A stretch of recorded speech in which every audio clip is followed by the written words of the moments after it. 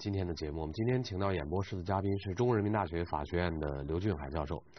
刘老师，我们今天节目当中要讲到的这个事情发生在江苏省滨海，当事人老王啊，呃，这些年过得呃有点糟心，嗯，生活他觉得是一片混乱，一团乱麻，而所有这一切的起因就是一份保险合同。来看一下我们今天的记者调查。老王记得那是一九九八年的四月的一天，有两个当地保险公司的业务员来到了他家。在他的劝说下，说这个投保有很多好处，就把这个保险条款留下来。老王说，当时他对保险到底是个啥玩意儿一点都不了解，而那两个业务员非常热情的给老王介绍这类保险有多好，将来对老王一家肯定有多大的益处。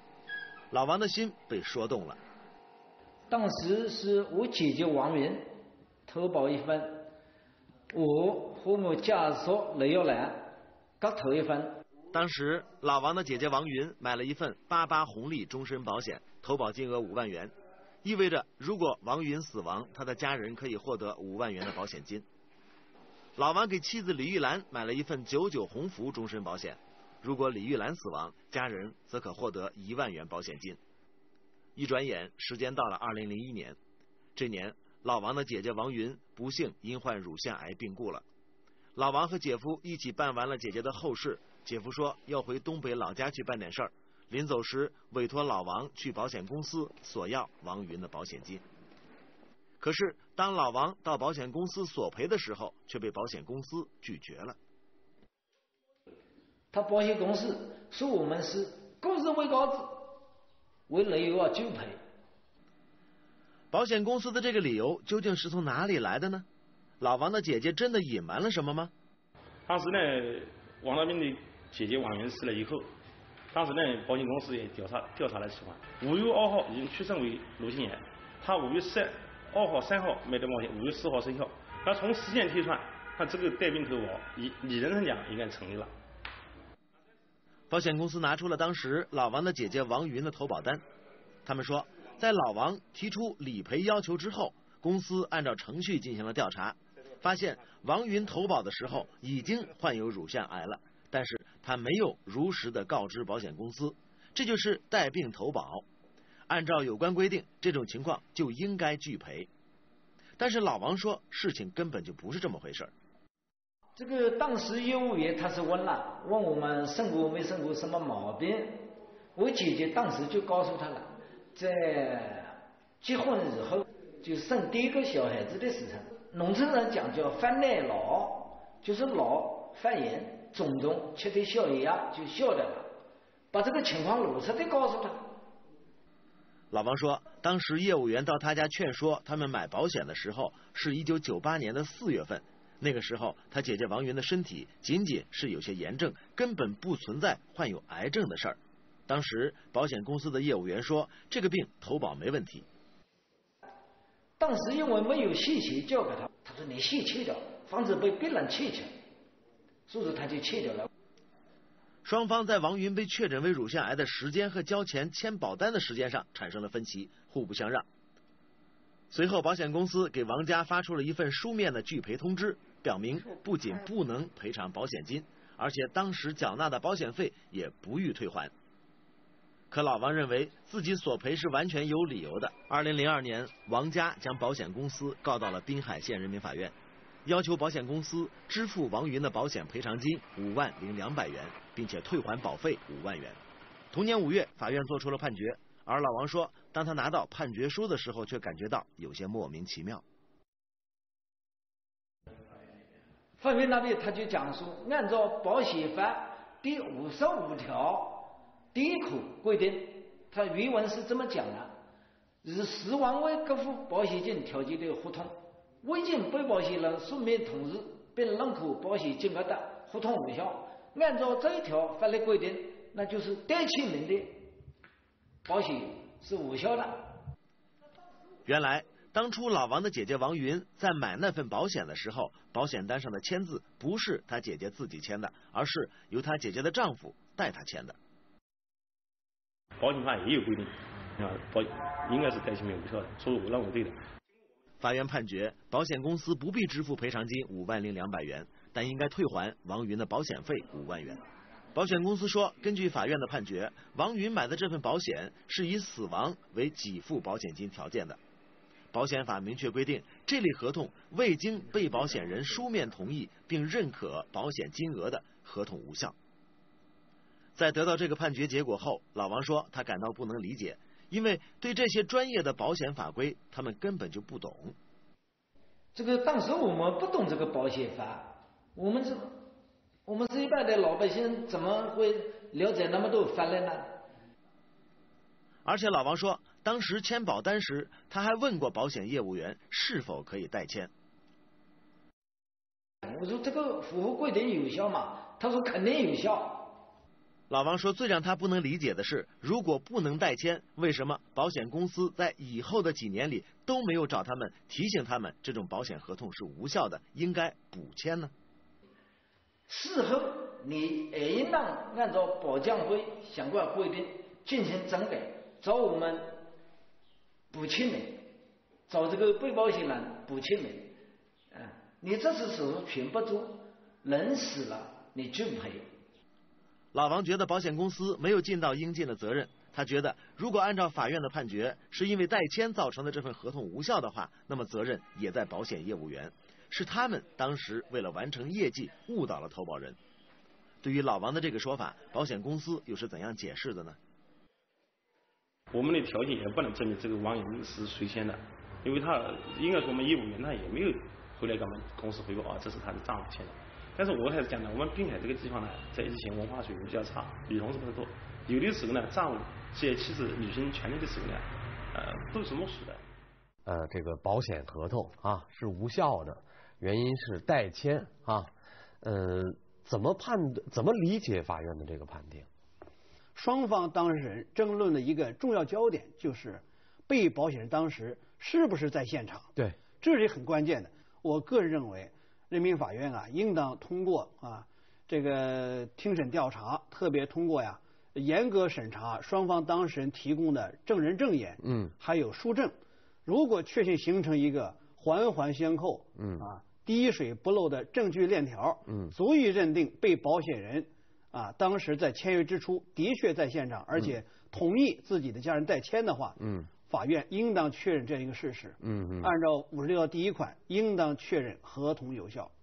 换言之，如果有证据证明被保险人在现场的时候，嗯，对于保险合同签署持有一种内心真实同意的意思表示，嗯，那么对他内心来说不存在强制，不存在胁迫，嗯，也不存在误解的情形，合同效力是应当予以确认的。但是不管怎么说，我们现在看到的判决结果，呃，是判决这个保险是无效的。呃，只是把保费给退了。嗯，面对着这样的结果，老王突然想到一个事儿，就是自己手里面也有一份保险合同，而这个保险合同也是代签的。以后要遇到问题怎么办？所以老王决定把自己手头的这份保险合同也好好处理一下。姐姐的保险被判无效，妻子的保险又会怎样？老王该如何是好呢？代签的保险单，今日说法继续播出。这个就是当时他们的投保单，我当时就向业务员咨询了，我说能不能我给他代签名？他说可以代签名，说符合保险公司的规定。说还有业务员代签的，说我们不跟你代签，那你就签嘛。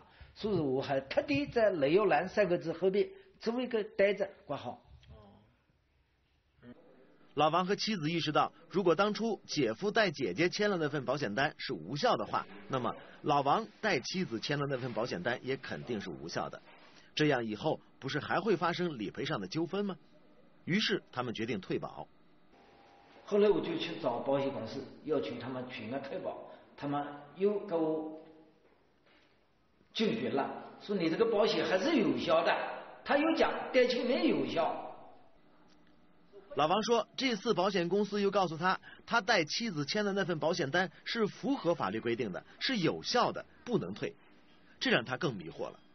我说这个保险法法律定在这边，为什么适用于我姐姐，而不适用于我家属呢？那么这究竟是怎么回事呢？为什么同样是代签的保险单，姐夫代姐姐代签就是无效的，而老王代妻子签的就成了有效的了呢？就是王道敏他这个实际上他是在场的，他实际上就代理行为，我们法院看呢，李玉呢对。他挂号就讲了是他丈夫代他签的，这是很清楚的，对的，就是我们公司也确认的，因为业务员也举证他是在场是默许的。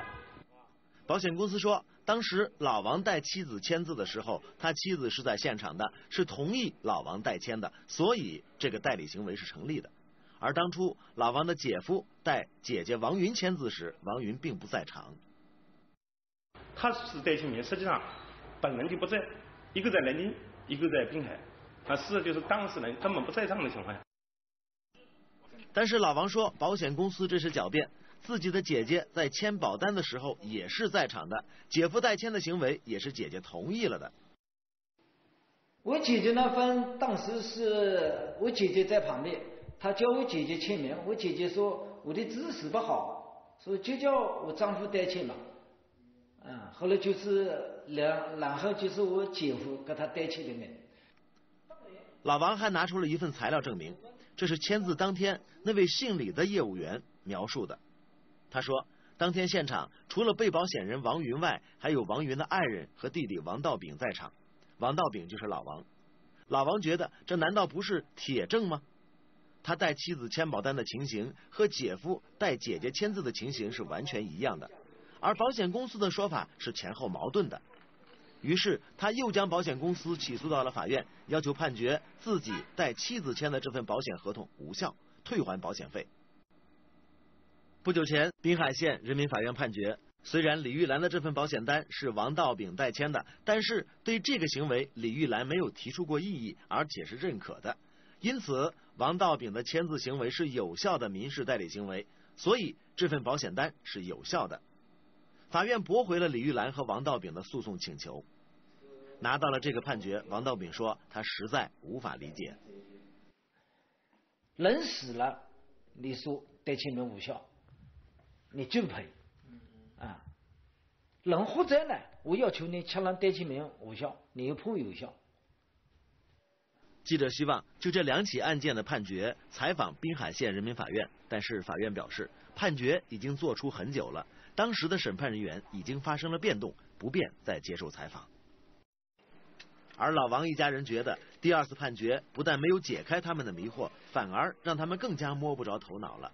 难道他们对两份保险合同的理解真的是错了吗？我就认为保险公司在故意误导我们。哎呀，我早就不相信他投保那个两保险公司，哎，他我不相信他。老王始终觉得。保险公司的规章和制度不够完善，对很多不懂保险法规的人来说是很不公平的。最起码的说，这个保险公司允许客户误导客户代签人，这是他一种不规范的经营行为。这样子就给我们投保客户带来了很大的后遗症了。对于老王来说，老王是亲自看到了。呃，两份合同，呃，亲自看到了两份面对着相同状况，但是呃，保险公司有着完全不同说法的这样的两份合同。于是老王就得出来一个结论，他认为保险公司目前的条例不够完善，同时他觉得保险公司不够善意，就是你面对着来投保的人，他对于保险法的了解一定不如你多。那在这种情况下，呃，你只说对自己有利的。未来可能就给投保人设置了陷阱，所以老王的这种觉得对方不够善意，我觉得通过保险公司的前后差距那么大的表现，某种程度上是成立的。这个自相矛盾的做法呀，实际上印证了当前某些保险公司存在的这种投保容易、嗯，索赔难的现实。没错，实际上，原些保险公司呢是追求经济利最大化，嗯啊。而没有考虑到被保险人或者受益人这些保险消费者的合理的这些个正当的权利和正当的利益。保险公司在说，说这是业务员呃自己在做业务，呃也许是业务员的问题，如果是业务员的问题是他自己负责和保险公司无关，这种说法能成立吗？这个说法啊，这个应该说值得商榷啊。嗯因为呢，就保险公司和业务员之间的法律关系而言，嗯不仅仅存在的是雇佣关系啊，而且还存在法律上的代理关系。嗯嗯也就是说，业务员在和保护被保险人或者投保人签署保险合同的时候，嗯他不是以业务员自己个人的身份，嗯而是以保险公司的身份，保险公司就就应当承受自己选择的业务员嗯为自己签订的合同而产生的权利、义务、责任、风险嗯，啊，当然也包括各种啊有利的或者不利的后果。不能说拉拉业务就是公司的，出了问题就是自己的，这这这这对业务员也不公平。那是不公平的。所以呢，桥归桥，路归路，在对外关系当中，也就是在被保险人、受益人、投保人和保险公司的民事关系当中，嗯。保险公司应当按照有效的保险合同约定，嗯。及时的履行自己的义务嗯。或者责任。嗯。而在内部关系当中，如果业务员在卖保险的时候的确隐瞒了关于保险公司应当通知消费者的重要的事实，而故意隐瞒啊，那么实实话只说一半儿等于撒谎了。嗯嗯即使发生这种情况，保险公司也应当先行承担保险合同约定的义务或者责任，嗯然后依据内部的雇佣关系，嗯依据内部的劳动纪律，再向这些呃并未勤勉尽责的业务员啊行使追偿权。保险业进入中国二十多年的历史，呃，这二十多年，大家开始慢慢接受它了。保险业的法律法规也在逐渐的健全，呃，客户越来越成熟，业务员越来越成熟，保险公司也越来越成熟。但是无论怎么变化，诚信这张底牌是不能被抽掉的。如果抽掉这张底牌，最早伤害的一定是保险业本身。感谢您收看今天的节目，感谢刘老师参与现场讨论。明天同一时间接着说法，再见。